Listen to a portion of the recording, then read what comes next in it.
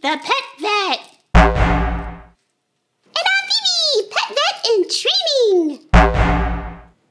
The Fizzy Fizzy Toy Show.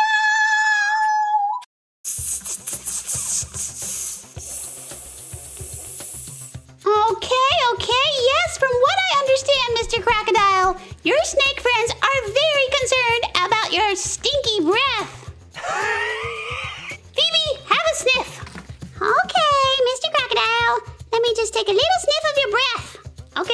Okay, I'm going to gently lift up your mouth here. Easy, easy. Whoa, wee, that sure is stinky. Hmm, let me take a closer look. Mm-hmm. Mm-hmm. Lots of tartar on those teeth. Let me take an even closer look.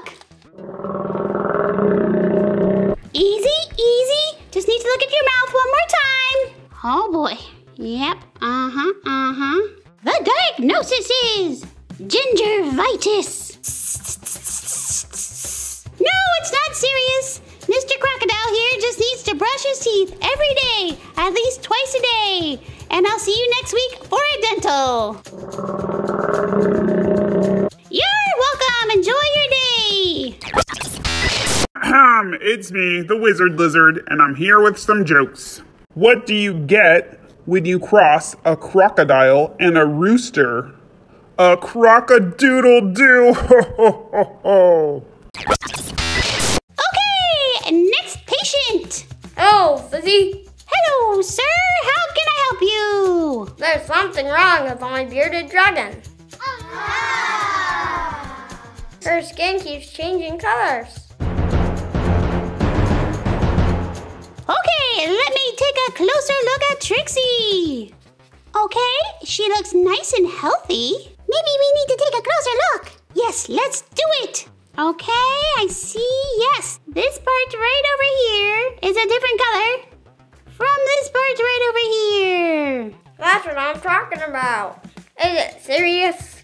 It's not serious at all. She's just shedding her skin. When she grows and grows, she grows out of her skin. And then she sheds the old layer. Is there something I can do to help her shed her own skin? Yes, giving bearded dragons a bath can help them shed their skin easier. Miss Hands can show you how it's done with Nacho! Oh, Miss Hands! Okay, Fizzy, I hear you. I'm coming. I'm coming to help you. Hi, Fizzy. What's going on? Oh, who's this cutie? This is Trixie. And Trixie is about to shed her skin. Oh, do we want to show Trixie's owner how to give her a bath so that can help her with her shedding? Great idea! Let's give Nacho a bath. I'm game. So the first thing we do is fill up a bin with warm water. We add a little solution that removes chlorine and other things from the water that can irritate bearded dragon skin. And when they're shedding, we add something to the water. This helps them with the shedding process. Before we put the beardy in the water, we check the temperature to make sure it's nice and warm. We want that water temperature between 90 and about 98 degrees. Okay, we put Nacho in the tub, and now we're going to let him stay in this bath for 15 minutes. You can let your bearded dragon just sit and enjoy the bath. What kind of bird steals soap from the bathtub? A robber duck! Get it? A robber? Oh, I'm hilarious. When they're shedding, you want to pour water over the portion of their body that's shedding. Sometimes you can even use a toothbrush to help clean your bearded dragon. To help make the bath more enjoyable, you can offer them a delicious snack.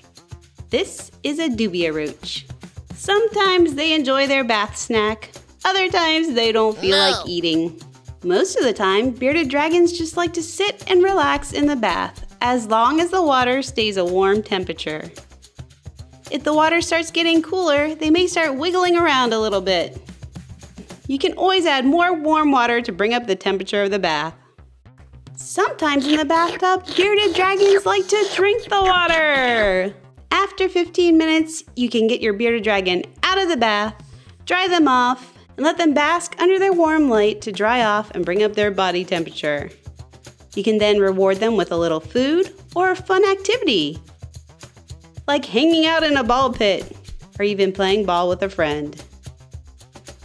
So see how easy it is to give a bearded dragon a bath? All right, let's give Trixie a bath. What?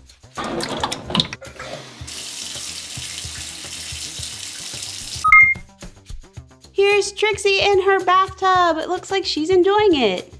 She's staying nice and calm. Does she want a little snack? Nope, doesn't look like it.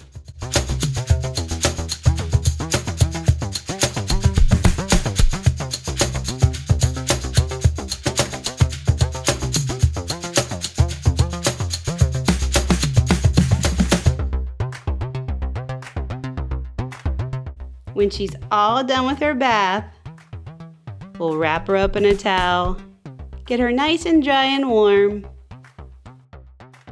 Let her bask under her basking light to thoroughly dry out and bring up her body temperature.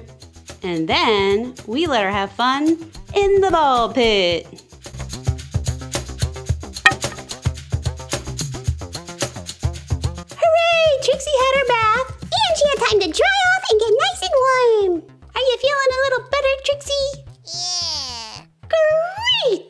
Thanks so much for your help, Fizzy. And thank you, Phoebe, too. We hope you enjoyed your visit with Fizzy, the pet vet. Wow. Have a nice day. Bye bye. Oh, it's the bearded dragon! What's his name? This is Nacho. Oh, Nacho, wait, come back. I need to give you a checkup. Is that why you're here today? That's right, he just needs his yearly checkup. Oh, okay, and wait a minute. Something's going on with his skin. And what kind of animal is a bearded dragon? So, Nacho is a reptile. Reptiles are animals like lizards, like Nacho here, snakes, crocodiles, turtles, and tortoises. And they usually have dry, scaly skin. Hello, me again. What's a reptile's favorite movie? The Lizard of Oz. Ho ho ho ho. Look under his chin. Some of his skin is coming off. Oh, oh, and that is totally normal. Don't worry, little Nacho. That's called shedding. And Fizzy, do you know why reptiles shed? Yeah, because they're growing and they need to fit into their new skin. They grow their skin underneath and then they shed their old skin. That's right, they shed so they can continue to grow. They can't grow if they stay in their tight little small skin. And Nacho's whole body has shed. He just has a little bit left on his chin to shed. Here's a piece from his leg. He just shed this this morning. And here's a crazy fact. Sometimes bearded dragons will eat their own skin. Sounds kind of gross, but there are some nutrients in there. So when he's shedding to help him lose that skin, I give him baths and mist him with a little bit of water. That helps the skin to stay moist and to fall off.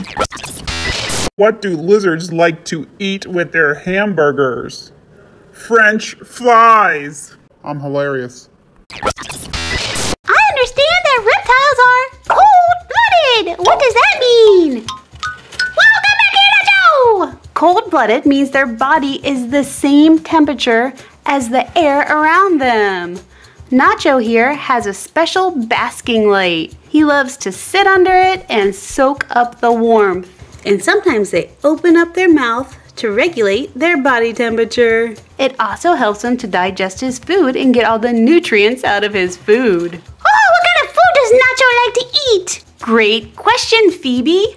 Nacho loves bugs like roaches and crickets. Oh, wow. Okay, anything else that he eats? Yes, most of his diet is leafy greens like collards and dandelion greens. He can also eat other fruits and vegetables, but just in moderation. For example, he can eat red bell pepper. Here you go, Nacho. Oh, there he goes. I don't think he wants to eat red bell pepper right now. Okay, Nacho, let me just look into your eyes here. Oh, they look nice and clear in your nose. Nice and clear. Um, can you say ah?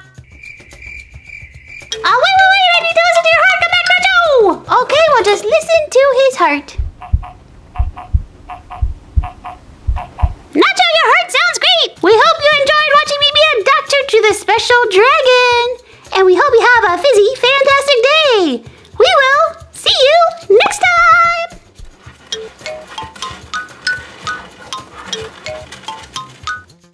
See you guys next time.